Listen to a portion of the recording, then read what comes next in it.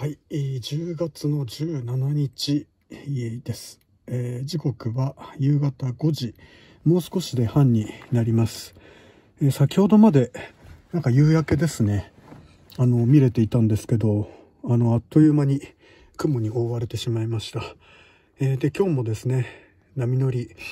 えーできました。え時間はですね朝7時半ぐらいに来ましてで、まあ、今の今までっていう感じなんですけども波は残りましたね、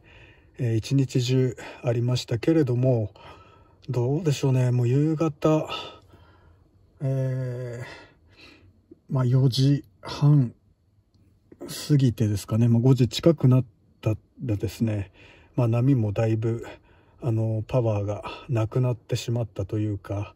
まあ、なあのパワーがあるポイントが一箇所に集中してしまってであの5人くらいですかね。サーファーの方5人、えー最終的には、えーいましたけどもやっぱり集中してしまって、まあ、私はどうしてもですね やっぱりああやってなんかもう密集するのがもうどうも苦手でですね。えーまあ、なかなかちょっと波取り合戦には参加できずに、まあいい波は、いい波はというかですね、まあちょっと、うん、ちょっと不本意な 結果と今日はなりました。サイズはどうでしょうかね、腰、腹、えー胸とかまであったんですかね。えーそこそこ形が良くて、まあただ私はもう最悪でですね、えーもうダンパーにもうやられまくってしまって、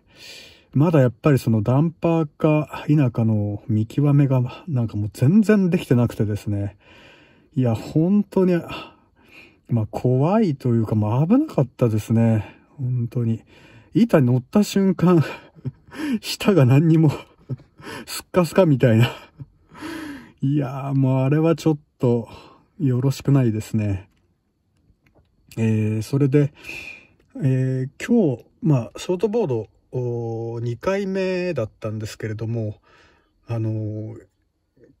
前回よりは良かったです。乗れてました。えーロングライド、まあ自分の中でのロングライドも、え3本、4本、まあ5本まではちょっといかなかったかな。まあ4本ぐらいですかね。えーまあまあ納得のいく、えーライディングができましてそのうち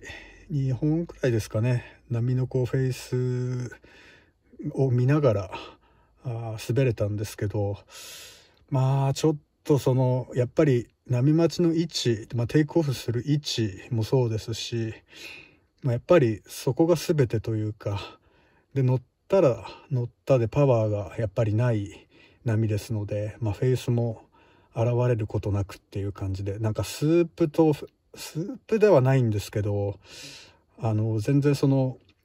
あの上下できるですね、えートップボトム上下できるようなスペースがないような波で本当ロングボーダーの方がスーッと横に走ってるようなイメージでなんかそういうあの本数ちょっと多かったんですけどライディングが多かったんですけどまあそうですね。はっきりフェイスが見えたのは1回1本2本ぐらいですかね。なのでまあショートボード、まあ、6フィートですけどまあなんとかあまあコンディション 良ければですねまあ自分でもあのなんとか格好になるというかまあ全然あのド下手なんですけどまあまああの立てなくもないあのちゃんと乗れたというところでですねまあ今日は良かったかなと思います。イメージはものすごく あのいいイメージ持ってるんですけど、まあ、なかなかちょっとうまくはいかないですね。えーで今日波予報あったので来てみたんですけれども、お思いのほか人は少なかったですね。まあ、天気もあのーまあ、晴れてましたし、まあ、気温もそこそこ暖かかったんですけど、えーなんか珍しくというか、まあでも5人6人、えーあの、怒られてましたね。はい。えーということで、まあ、次、次というか、まあ、10月、11月、あのー、まあ、シーズンですのでね、日本海、えー、波予報をチェックして、まあ、波がある日、そして自分が行ける日は、あの、必ず、あのー、来ようかなというふうに思います。あ、そう、あと、こう、パーリングした時に、ショートボード、大、あの、お気に入りのボードをへこませてしまってですね、